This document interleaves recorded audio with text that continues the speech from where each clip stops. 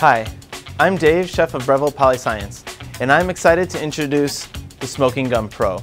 It's been designed specifically for commercial, kitchen, and bar use. It's been redesigned for better durability, stability, ease of cleaning, and better airflow. It comes with two sample wood chips and an accessory kit to keep your Smoking Gun Pro in top shape. You can use a variety of combustibles such as wood chips, tea leaves, dried herbs, or even spices.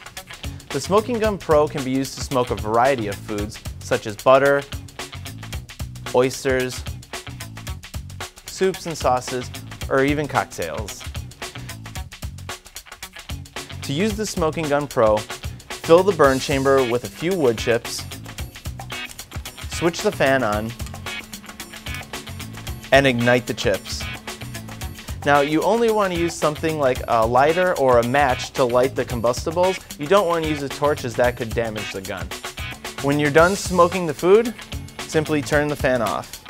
So I'm Dave from Breville Polyscience introducing the Smoking Gun Pro.